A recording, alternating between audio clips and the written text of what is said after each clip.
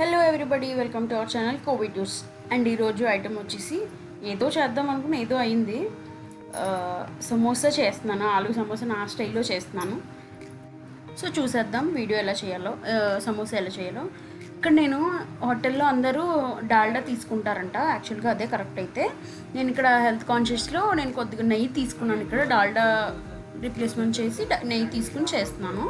So చూద్దాం ఎలా చేయాలో. నాకు నేను వన్ కప్ మైదా తీసుకున్నాను ఫస్ట్. ఒక కప్ మైదాకి పావు కప్ ఆటా ఫ్లోర్ అంటే గోధుమ పిండి తీసుకున్నాను. తర్వాత నేను త్రీ టేబుల్ స్పూన్ వేసుకున్నాను నెయ్యి ఇక్కడ. తర్వాత ఒక హాఫ్ టీ స్పూన్ ఏమో వామ్ వేసుకున్నాను. తర్వాత మీకు చిటికెడు సాల్ట్ నేను ఒక హాఫ్ టీ స్పూన్ వేసుకున్నాను ఇక్కడ. తర్వాత బాగా కలుపుకోవాలి. అంటే ఆయిల్ సారీ నెయ్యి బాగా కలుసుకోవాలన్నమాట అంటే పిండి గోధుమ పిండి బాగా పీల్ చేసుకుంటుంది. బాగా కలుపుకోవాలి. అంటే పొడి పొడిగా కొంచెం అట్లా అనిపిస్తుంది అనమాట ఇలా ఇలా అంటే చేత్తో అనేటప్పుడు అదిగో చూసారు కదా ఎంతలాగో. తర్వాత మనం గట్టిగా చేసుకోవాలి. పిండిని చేసుకోవాలి. కొంచెం వాటర్ కలుపుకుంటూ కొద్ది కొద్దిగా కొద్ది కొద్దిగా కలుపుకుంటూ చేసుకోవాలి. ఎందుకంటే సమోసాకి పిండి మాత్రం చాలా గట్టిగానే ఉండాలి. పల్చగా ఉంటే మాత్రం మీకు లాస్ట్లో చూపిస్తాను. నాది ఇక్కడ కొంచెం పల్చనయింది దానికి వచ్చే టిప్ కూడా ఉంది ఇక్కడ సమోసాకి. ఇవి చేసేటప్పుడు ఏంటి అన్నది ప్రాసెస్లో. సో అలా అయ్యాక కొంచెం ఒక టెన్ మినిట్స్ పక్కన పెట్టేసుకుని తర్వాత మనం దాంట్లో కావాల్సిన స్టఫ్ చేసేద్దాం. ఒక ఫోర్ టప్ పొటాటోస్ తీసుకుని నేను బాయిల్ చేసుకుని పీల్ తీసేసుకోవడమే. తర్వాత ఒక ఆనియన్ గ్రీన్ చిల్లీస్ ఒక టూ తీసుకుని కట్ చేసుకుని పెట్టుకున్నాను ఆయిల్ పొటాటోస్ కూడా కట్ చేసేసుకోవాలి. మీకు స్మాష్ కావాలంటే స్మాష్ చేసుకోవచ్చు. నేను కట్ చేసుకున్నాను. మరీ స్మాష్ అయినా కూడా బాగోదు. తర్వాత కడాయి పెట్టుకుని అందులో టూ త్రీ స్పూన్స్ ఇక్కడ కూడా ఒక టిప్ ఉంది అది కూడా చెప్తాను. వేసుకుని ఆయిల్ అలా అంటే దాంతో అంటే అలా అంటే విత్ ఇన్ సెకండ్స్లోనే ఆయిల్ హీట్ అయిపోతుందంట. ఇది కూడా నాకు ఒకళ్ళు చెప్తే తెలిసింది.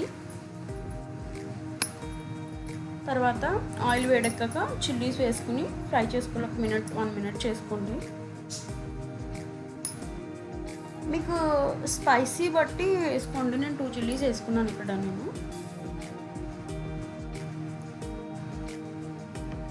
తర్వాత తరిగి పెట్టుకున్న ఉల్లిపాయ ముక్కలు.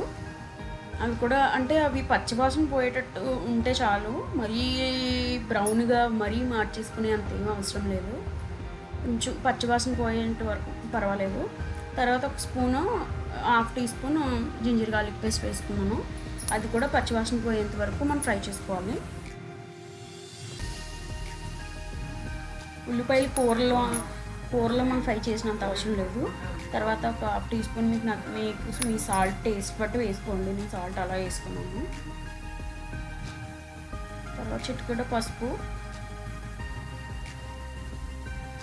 తర్వాత కారం కూడా మీకు ఆప్షనల్ అది. ఎందుకంటే ఒకవేళ కారం కావాలంటే వేసుకోవచ్చు. తర్వాత నీకు చాట్ మసాలా అండ్ గరం మసాలా ఇవి కూడా ఆప్షనల్ నా దగ్గర ఉన్నాయి కాబట్టి వేసాను అది లేకపోయినా సరే మీరు నార్మల్గా ఉన్నాయి వేసుకోవచ్చు. నార్మల్గా వేసుకోవచ్చు. తర్వాత ధనియాల పొడి నేను టూ స్పూన్స్ వేసాను ఇక్కడ. ధనియాల పొడి ఎంత ఉంటే అంత టేస్ట్ బాగుంటుంది కాబట్టి నేను కంపల్సరీ ధనియాల పొడి వా వాడుతూ ఉంటాను కాబట్టి టూ స్పూన్స్ వేసి బాగా ఫ్రై చేసుకోవాలి.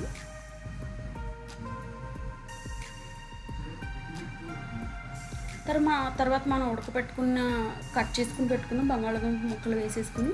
ఒక ఒక టూ మినిట్స్ వరకు ఫ్రై చేసుకుంటే దాంట్లో ఇంకా ఏమైనా పచ్చివాసన ఉడికిపోయాయి ఆల్మోస్ట్ ఉడికిపోతాయి కాబట్టి దానికి ఉన్న మసాలా అంతా దానికి పట్టాలి కాబట్టి ఫ్రై చేసుకోవాలి మనం. లాస్ట్లో కొత్తిమీర కొద్దిగా ఉంటే యాడ్ చేసుకుని ఒక్క ఒక ఒక్క జస్ట్ ఒక మిక్స్ ఇచ్చేస్తే చాలు. అంతే మనకు సమోసా ఫిల్లింగ్ రెడీ. బౌల్లోకి తీసుకుని పక్కన పెట్టేసుకోండి. మనం ఇప్పుడు సమోసా ఎలా చేయాలో చూసేద్దాం.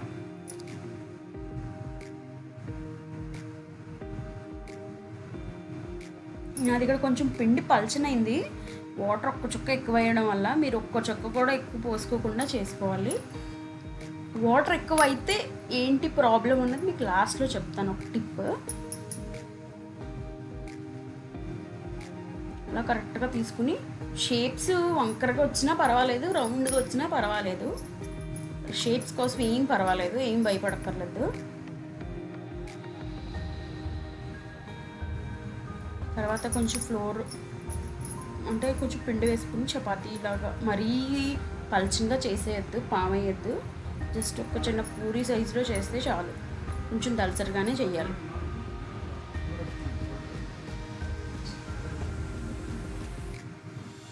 చేసుకున్నాక ఒక చాక్ తీసుకుని అలా అన్నా కట్ చేసుకోవచ్చు ఇలా అన్నా కట్ చేసుకోవచ్చు ఎలా అయినా కట్ చేసుకోవచ్చు. మీ ఇష్టం. నాకు నచ్చినట్టుగా నేను ఇలా క్రాస్కి కట్ చేసుకుంటున్నాను.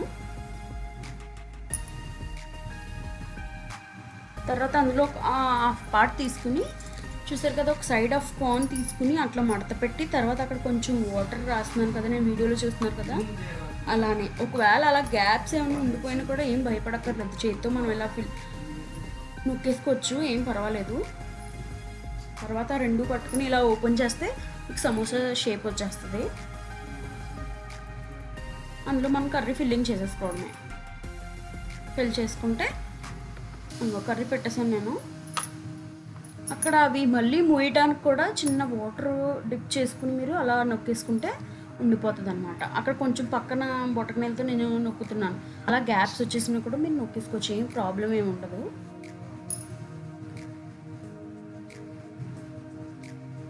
అలా గట్టిగా నొక్కేసుకుంటే కర్రీ ఇంకా అసలు బయటకు రాదు. ఒకవేళ మీకు అంతగా ప్రాబ్లం అయితే వచ్చేస్తుందేమో ఫ్రై చేసేటప్పుడు అని భయపడితే ఒక ఫోక్ తీసుకుని నేను ఎలా నొక్కుతున్నానో చూడండి. అలా నొక్కేసుకుంటే మీకు అసలు ఎట్టి పరిస్థితుల్లో రాదు ఇంకా. అలా డిజైన్గా కూడా కనిపిస్తుంది బాగుంటుంది అన్నమాట అనుకోండి. అయిపోయి తర్వాత మనం ఫ్రై చేసుకోవాలి. ఇక్కడ ఫ్రై మనం డీప్గా ఉన్న కడాయి తీసుకుని అందులో ఆయిల్ బాగా హీట్ అయిపోవాలి మరిగిపోతూ ఉండాలి ఆన్ హై ఫ్లేమ్లో.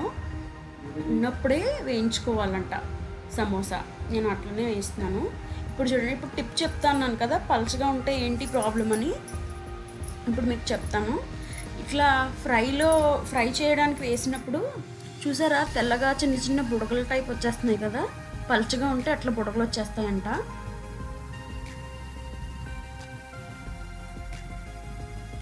మనం లైట్ గోల్డెన్ బ్రౌన్ వచ్చే వరకు మంచి కలర్ వచ్చేంత వరకు మనం ఫ్రై చేసుకుంటే చాలు.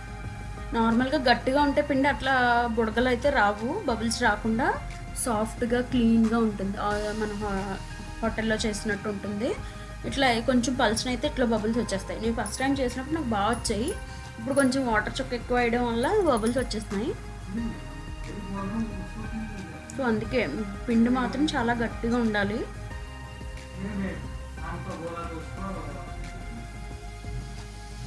అంతే చాలా సింపుల్ సమోసా. మనం అనుకుంటాం చాలా కష్టమని. అలవాటు అయితే ఏదైనా ఈజీ బ్రౌన్ కలర్ వచ్చేంత వరకు మనం ఏం చేసుకుని ఫ్రై చేసుకుని తీసేసుకుని వేడి వేడిగా తింటే ఒక ఒక్క కప్లో చాయ్ వేసుకుని అబ్బబ్బబ్బా. అయిపోయాయి. ఇప్పుడు తీసేసుకోవడమే. అయిపోయాయి. సమోసా రెడీ ఒక సాస్ వేసుకుని సాస్ నంచుకు తింటే చాలా బాగుంటుంది. సో చూసారు కదా వీడియో నచ్చినట్టయితే like share comment and don't for don't forget to subscribe. Thank you.